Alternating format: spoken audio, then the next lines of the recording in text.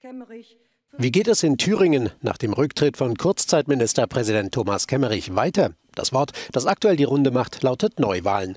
Kemmerich will sie, nachdem er sie zuerst abgelehnt hatte, FDP-Chef Christian Lindner will sie und auch die Bundes-CDU will sie. Allein die CDU in Thüringen ist dagegen. Dabei war Parteichefin Annegret Kramp-Karrenbauer gestern eigens samt der Forderung der Parteispitze nach Erfurt gereist, um sich dort bis in den frühen Morgen hinein mit den Parteifreunden zu beraten. Am Ende der, wie es hieß, teils emotionalen Gespräche konnte sie sich aber nicht durchsetzen. Die Thüringer Christdemokraten um ihren Vorsitzenden Mike Moring wollen nun erst einmal nach anderen Wegen aus der Krise suchen. Damit stellen sie sich klar gegen AKK, aber auch gegen Kanzlerin Merkel, die ebenfalls Neuwahlen sehen will.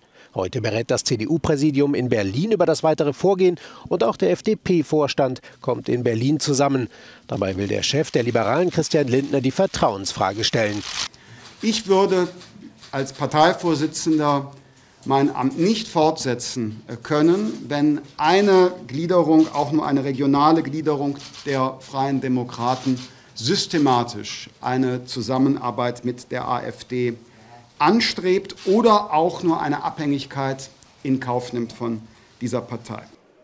Kritik an Neuwahlen kommt von der AfD. Parteichef Alexander Gauland sagte, das erinnert mich an manche Vorschläge äh, bei der Brexit-Diskussion in England so lange abstimmen, äh, bis äh, das richtige Ergebnis rauskommt, so lange wählen, bis der richtige Ministerpräsident rauskommt, halte ich nicht für sehr demokratisch.